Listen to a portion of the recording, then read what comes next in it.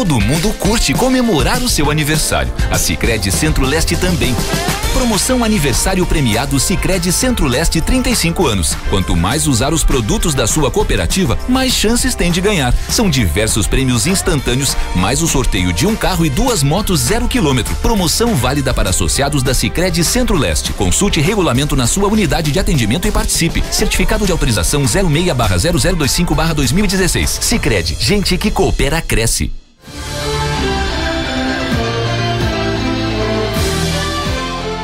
A manhã do sábado, 26 de novembro, começou com um acidente na BR-116 em Tapes. Segundo informações, dois veículos, um Sandero com placas de Pelotas e um Voyage com placas de Caxias do Sul, colidiram frontalmente. Ao menos seis pessoas ficaram feridas. Duas em estado grave ficaram presas nas ferragens e foram levadas ao Hospital Nossa Senhora Aparecida de Camacuã por equipes de resgate de Tapes.